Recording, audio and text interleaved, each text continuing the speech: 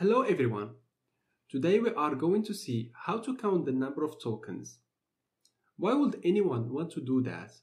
Well, using long prompts, it might be useful to count tokens before sending any content to the model. Let's say that the model can take just 512 tokens as input, and you decide to give it a thousand tokens instead. If you do this, you will get errors in the code.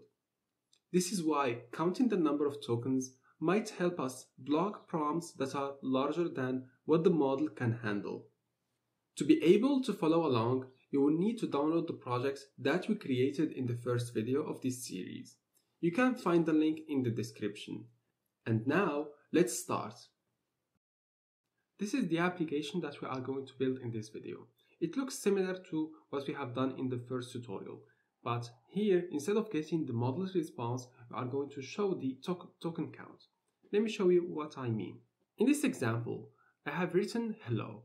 When I click on the send query button, you can see that I am getting total tokens is equal to 1, which means that hello contains just one token. Now let me write a big sentence to see the difference.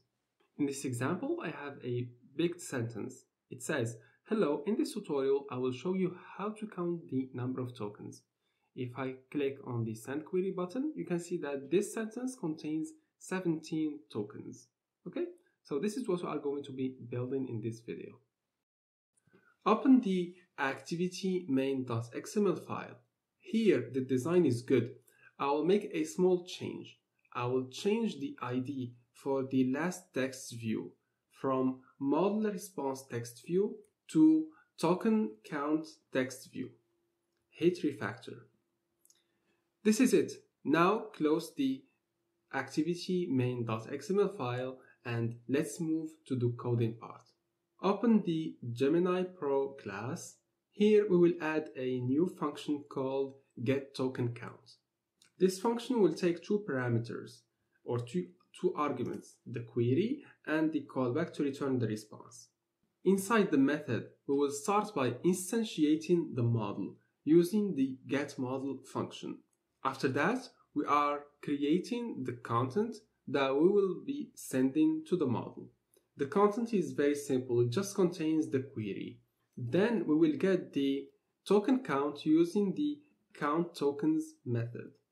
And finally, to return the token count, we can use the add callback.